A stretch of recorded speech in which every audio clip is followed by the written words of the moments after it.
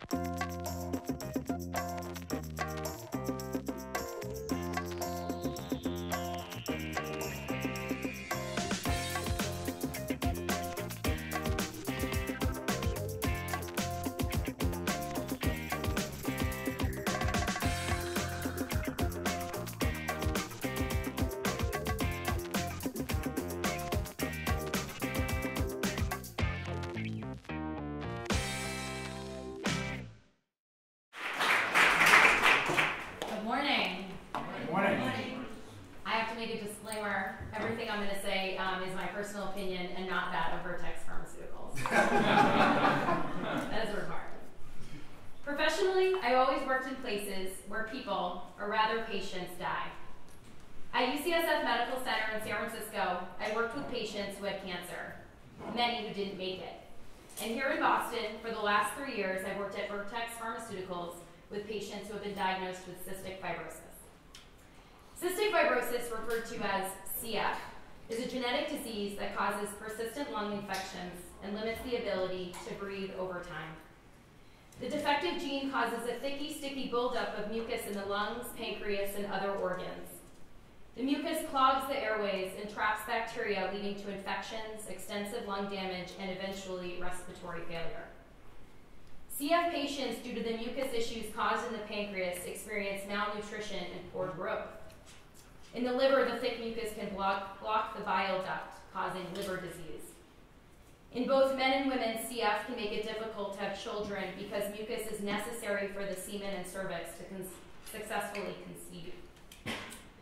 From a mental health perspective, CF patients are often diagnosed with anxiety and depression due to the psychological burden of knowing they have a rare, life threatening illness. As one patient eloquently stated it to me, there is a clock ticking over my head. Worldwide, there are 70,000 people living with CF, 30,000 people in the United States living with it, 1,800 CF gene mutations, and the average life expectancy, expectancy is just 47 years old. And when I started at Vertex Pharmaceuticals in October 2014, our trainer told us there are generally two types of patients on opposite ends of the spectrum. On one end of the, on one end of the spectrum is the sex, drugs, and rock and roll type patient. This is the one who lives life on the edge, even daringly so. Health is secondary. On the other end of the spectrum, the second type of patient is one who is compliant, diligently takes their medications, and is adherent to their physician's orders. Life is seen as fragile by these patients, and thus they treat it as such. But I've learned through my work with these patients over the last three years that there's actually a third and arguably more common type of patient. One who commits their life to raising CF awareness, living on the edge, and simultaneously staying committed to staying healthy. I've learned from CF patients who run marathons, start foundations, go to medical school, and internationally travel to taste beer at Oktoberfest. Maybe hard cider. Lessons from these patients are endless, and I'll highlight just three. One, life actually is measured by the number of breaths we take, not by moments that take our breath away. Breathing for CF patients is everything. A productive inhale and exhale is the difference between being able to travel to another country, step across the finish line, or get out of bed in the morning. And life is threatened precisely by moments that take a patient's breath away. Two, confrontation with death and mortality makes these patients actually experts on life. I've always been intrigued and interested to learn often in their early 20s, fall in love and get married younger. There is no time to waste. They move with haste to find intimacy. These patients know beyond career, money, fame, and fortune that love and connection is what they want to be experts on. And in sickness and in health isn't a trite term used at the altar, but a reality of being 25 and living with this disease. Three, their final simple statement is get to know me. CF and the label of diseased or dying doesn't define these patients. They have regular struggles like every person with healthy lungs, and regular joys, wonders, and inquiries about life. They are, in fact, not, all that different from me or even you. They're not just a Mayo Clinic statistic or a case study in the New England Journal of Medicine or patient VX3262 in a Vertex Studies clinical trial. They are individuals who, just like everyone else in this room, want to breathe in and breathe out and love and live. Thank you.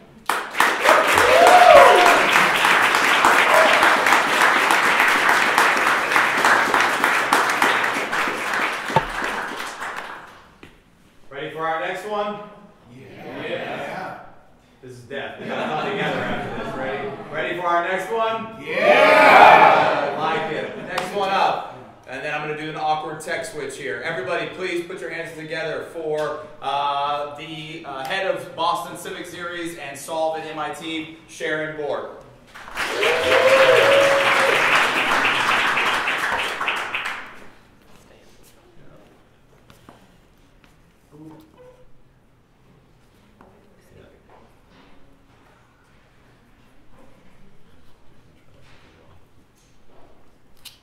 Give me a second here. Give me a second.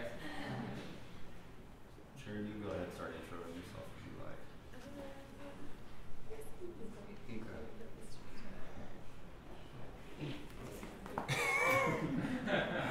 All right, and we're almost here. There we go. Perfect.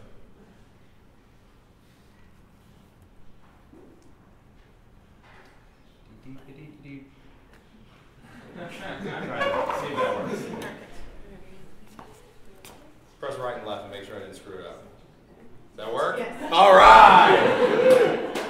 Hi everyone, good morning. My name is Sharon Bort and I'm going to tell you about 25. It was a really crappy year for me, um, but I think it's really important to share my story. It's so important to remember that when we're going through these losses and defeats and disappointments and failures and what have you, we all have it and we're not alone and it's important to share our story and get vulnerable so we can bounce back from those um, and be stronger and more resilient people so 25 started for me um, around halloween um, when my boyfriend really brutally broke up with me over the phone he actually told me that i was a dirty hippie that needed to shower more he didn't like my apartment he didn't like my friends um, I was a knee-jerk liberal. Like he went deep and like it cut, it hurt, and I was devastated. Particularly because we had planned trips together. He gave me his garage opener. um,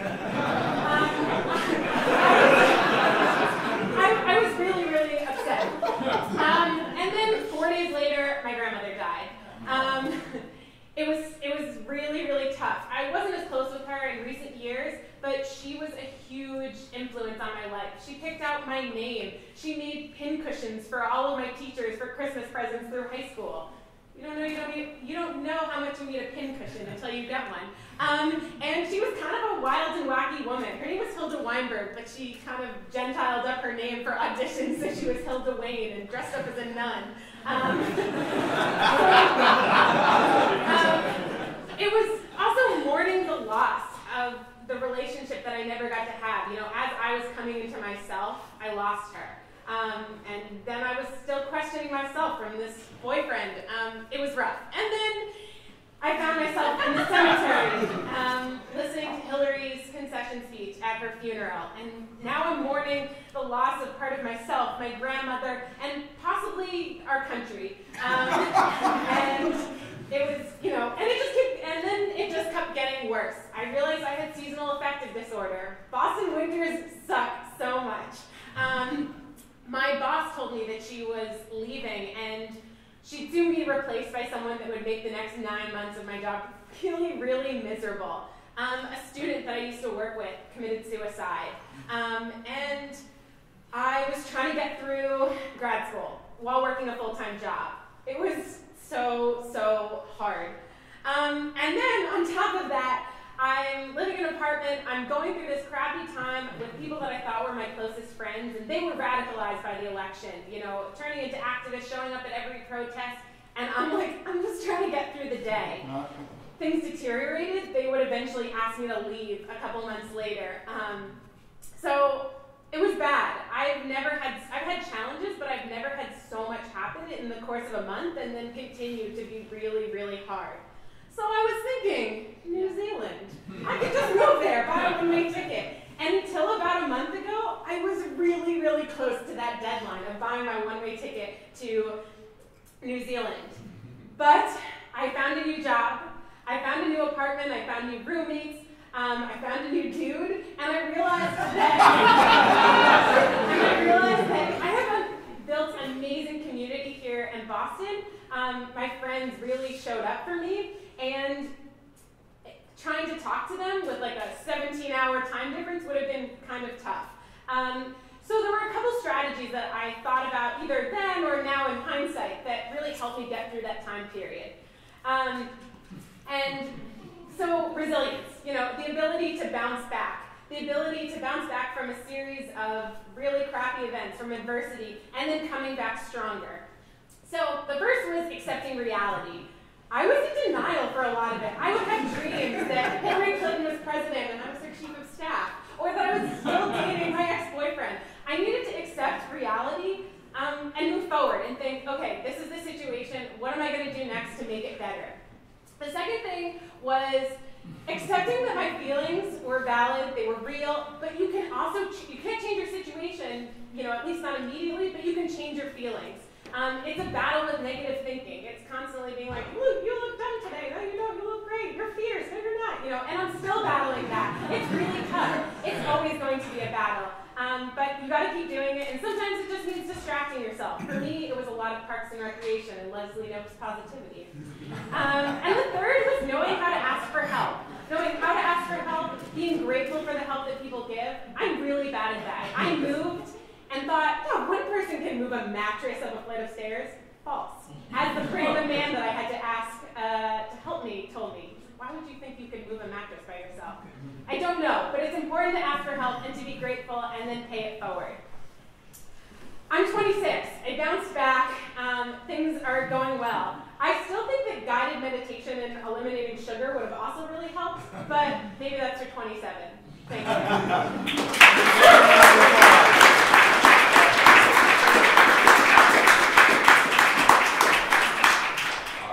another one of these awkward ones. All right, while I try and figure this out again, everyone give a round of applause to my man, Anders Cahill. I believe in you, Keith. All right, let's see. You can do this. This guy? Let's try that guy. Yeah, press that guy. That guy works. Hey. You got it. You go. All right, awesome. Good morning, everyone. Good morning. So, uh, before I get started, in the spirit of tomorrow's talk, I'd like to invite everyone to take a nice big deep breath in through your nose. Exhale out through your mouth. Okay, now that you're all relaxed, I can give the bad news. We're gonna die. Each and every one of us, here one moment and gone the next. And you know, we all kind of know this, right? Like, but we don't really just kind of do anything about it. We keep on keeping on until suddenly that's it. It's too late. So why do we do that? I mean, I think the truth is that change is really, really hard, right? We are biologically wired to seek safety and stasis and comfort. But how many of you have heard stories of people who have turned their backs on convention and found a, a life of meaning and purpose that society doesn't always seem to offer us. Uh, of someone who battled cancer and realized how much he'd taken for granted. Or a woman who hiked a thousand miles across the country and found herself reborn at the end of that journey. Or a monk who gave up all of his material possessions to live a life of devotion. Or a soldier who gave up all of her comfort and safety to serve ideals that she believes in. You know, the truth is that in life, the magic happens out on the fringes of our experience. You know, it's common to seek safety and comfort. Those aspirations are normal and, and healthy in a lot of ways. But if we're looking for inspiration, we've got to look to the uncommon, to the extraordinary. And that for me kind of begs the question what what will it take for us to actually let go of some of our, our safety and really live? And I think the answer is we've got to face our own mortality. We've got to reckon with the fact that each and every one of us is going to die. So this is me. Um, I don't know, a few weeks old at this point. I was a hairy little goober. Uh, my, uh, when I was born, I was born with a condition called pyloric stenosis, basically my stomach was pinched shut. So I couldn't even drink my mother's milk. I was two weeks old and I was literally starving to death. The surgery didn't go well either. Uh, I was in the hospital for 10 days. The wound was uh, infected and swollen. My stomach literally cut open. And my parents, day after day, didn't know if I was going to make it until the next one. So, spoiler alert, I did. All right. but you know, for me, that was that was really just the beginning. I mean, I was obviously too young to remember all that. That was really my parents' encounter with mortality. But I had this vicious scar on my stomach, and by the time I reached middle school, it was a source for me of shame. You know, I uh, it marked me as different. It marked. It felt like it marked me as weaker. I hated going to the beach or the swimming pool. Until I was a teenager, I avoided any situation where I might have to take my shirt off in public. And then a mentor said something to me that really changed my life, and I want to share it all with you. She said something really simple but really powerful. Andy, she said, your wound is your gift. Your wound is your gift. Each of us carries wounds. Each of us has scars. Some of them might be visible, physical on the skin. Others are buried deeper. The spiritual and emotional record of battles fought and loved ones lost and challenges overcome. All too often, we, we look at these scars and we see them as a mark of weakness or of difference, like I did. But I know now that we can see them as a mark of strength as testament to the fact that no matter what life has thrown at, thrown at us up until today, we are still here. So I want to invite you to take one more big breath in through your nose. Exhale out. What wounds are you trying to heal? What scars do you carry? They are your proof of life. Thank you. Give my man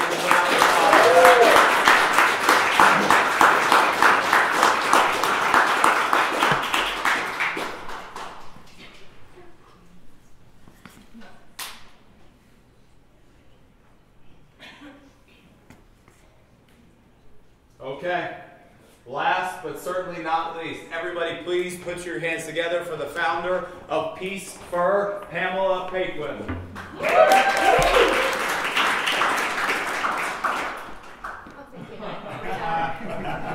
Uh, babysitter bailed, but it's good because I can see all these awesome speeches. I was just thinking about Anders' uh, presentation and that Rumi quote that says, uh, "The crack is where the light enters, the wound is where the light enters you." And of course, that's my experience as well. I was a sustainability consultant. I made a lot of money. I had a great life. And at 34, I gave birth to a gorgeous daughter with my husband of seven years, and he left me when she was four months old in Copenhagen, Denmark. So getting home was hard. All the money in the world that I put into our house to buy it uh, was gone. The crash was happening, and I was broken. On my identity, my self-esteem. How was I going to provide for my child? Right, like scary, scary, scary stuff. Can I even get home with her? Um, and I got home, and I traveled a lot for my work, and I couldn't do that anymore if I wanted to raise my daughter. So my identity was gone, just shot. And what I realized in the transition between that point in my life and what I'm doing now is that the way that you view death is the way that you will view yourself when it's your turn to be broken. And we're all going to have that. Or any something we love, our parents, our dogs. And so getting comfortable and versatile with death is the key to grace, really. Uh, and, you know, I mean, we sing Amazing Grace, and the words are so, so true. And now they just make me cry every time I hear. Uh, but I'm not going to sing it for you. so what I did is I was sitting there broken. Um, you know, Naya was older, and I, I think maybe three or four going into pre-K. Sent her to school, kind of sat drinking coffee or bourbon at either end of the day, chain smoking cigarettes, looking at trees for about a month. What am I going to do with my life? And I had had ferrets while I was living in Denmark, where they make about 30 million mink pelts a year from furs, uh, farm fur. And it always made me very upset because my ferrets, my house wasn't big enough for them. And in the United States, as you know, there are just bodies everywhere.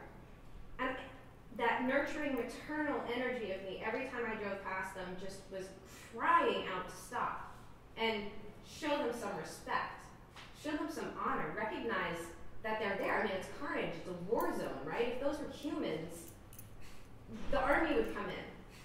Um, it's a million a day in this country. A million animals a day are killed on our roads. That's seven times the amount of fur that the entire global fur industry needs. So we're being lazy, right? We're being inefficient. We're making it easy. We're raising them in cages and killing them because it's easier than setting up a pipeline to responsibly and sensibly and honorably source from the animals that lived free and died by accident. They're all being thrown in pits. So that was my job.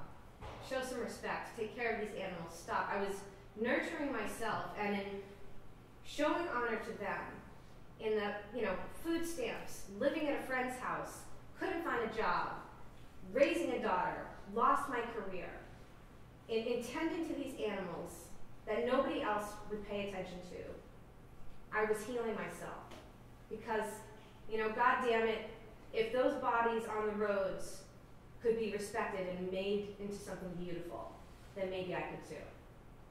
And what a gift. And, and again, in that, yeah, I'm going to start crying.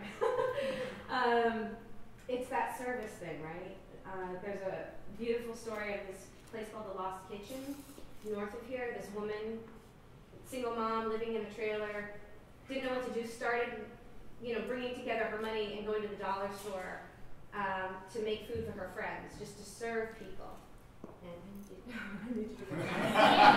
We're almost done, aren't we? How close Keep going. Take your time. Um, and she started there, and now she's like the superstar in New England, right? She's booked months in advance for this kitchen of 40. It's incredible.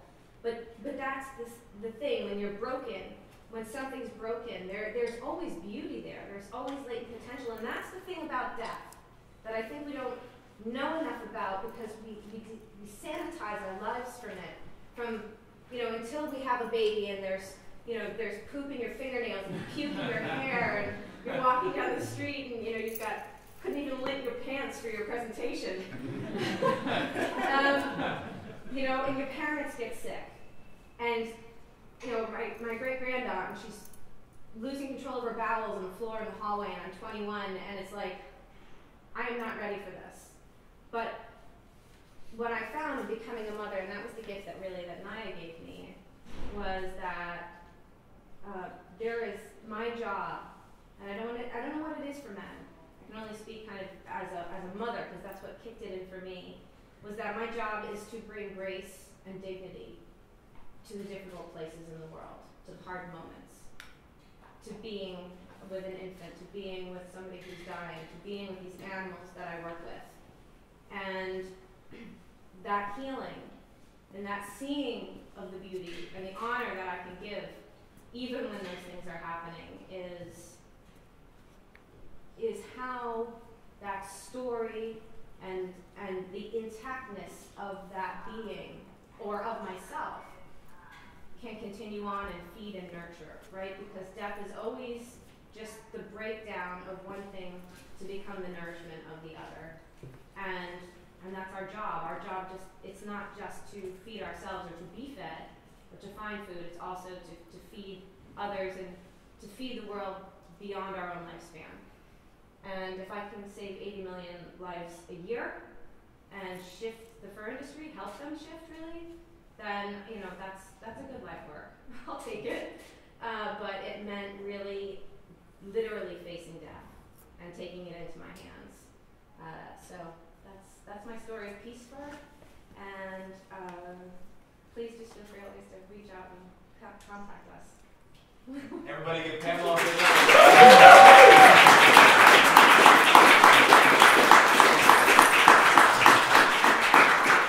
Can all of the speakers please just stand one more time for me, please, wherever you happen to be, right there. Can everybody here please give our audience members, these speakers today, a huge round of applause?